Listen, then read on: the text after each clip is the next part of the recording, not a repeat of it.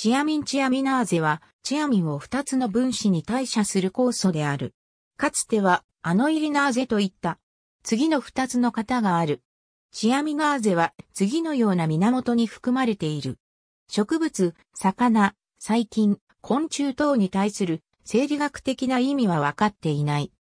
1941年に毛皮採取用の養殖の狐に鯉のような皮魚の内臓を生で食べさせていたところ、ニューロパチーの発症の原因になっていることが初めて報告された。また、チアミナーゼの含まれた食品を食べることが牛の大脳皮質壊死症や羊の灰白脳軟化症の病因になるということも知られていた。かつては、平正がある、機関アンチョビの実を食べるため、養殖漁業で経済的な被害の原因となったこともあった。同じ問題は、自然界の食物連鎖システムの観点でも研究されている。カイコアナフィーベナターの幼虫は、ナイジェリアの熱帯雨林で重要なタンパク質源となっており、含まれる耐熱チアミナーゼが急性の小脳失調の原因となっている。